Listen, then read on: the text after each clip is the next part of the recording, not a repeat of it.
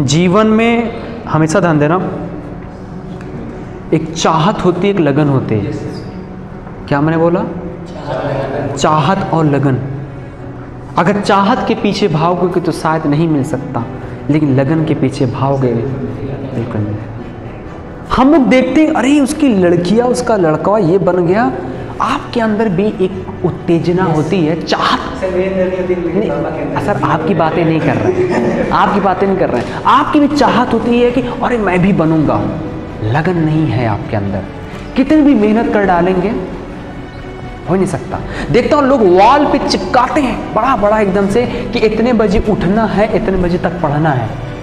वो एक्चुअली क्या है ना बस ज़बरदस्ती बनना है वो। और चाहत के लिए आपने कदम तो उठा लिया लेकिन लगन नहीं है। सुबह से लेकर शाम तक प्रातः नौ बजे रात तक पता है? Same energy. आइए शाम वाली कभी बैच अटेंड करिए। धुआंधार ऐसी एनर्जी दिखती क्यों? लगन है। चाहत तो है ही साइड में लेकिन चाहत के साथ हमारी लगन है। अगर मैं चाह अरे यार वो पता है? चिकन काट के बेचता बड़ा पैसा कमाता। बी कार खरीद लिया। होटल चलाता है सच में है कि होटल नाम नहीं लूँगा।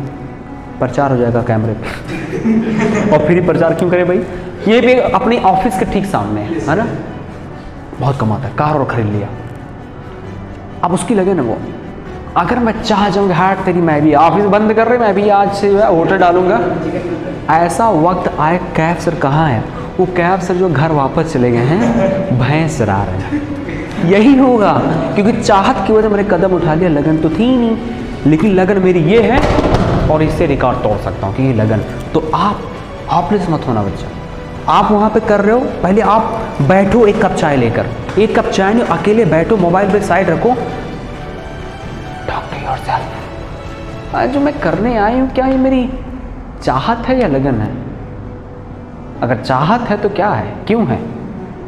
अगर लगन है तो क्यों है? इसका आंसर निकालना आंसर मिलेगा।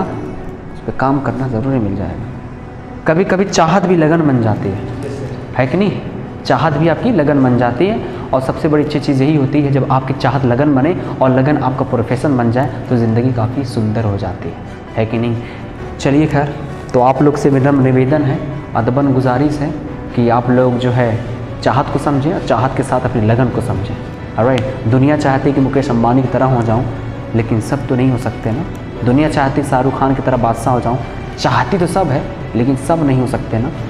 अपनी लगन लाओ let them follow you do something better than Shahrukh Khan that let Shahrukh Khan follow you why are you following him कहते भैया, मुझे बस शाहरुख खान की तरह बनना है. अरे नहीं be better than him let Shahrukh Khan follow you सबकी अपनी एक पहचान होती है।